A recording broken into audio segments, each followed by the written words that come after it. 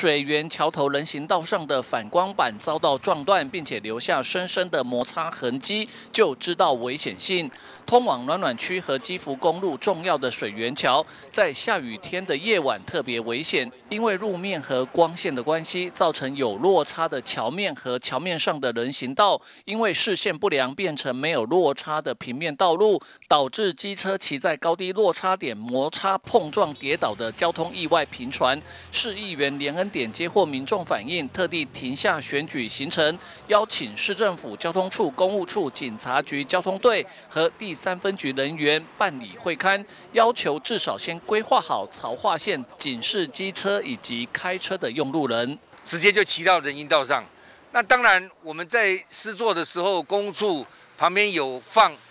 诶矮矮的一个反光反光标示，但是已经来不及了，往往都直接冲到冲到上面去了。那造成上次前天前几天也有车子跑到人行人行道上，要急着下来，车子就翻倒了。我想这一些的事情，我也在议会里面也提了两次。那今天来特别又来到现场，也跟公单位在讨论。那我们的一个结论是，先用潮化线来强调这个路口，诶，马路的人行道跟这个马路是有不一样的范围啊。那提醒这个我们这个骑车的。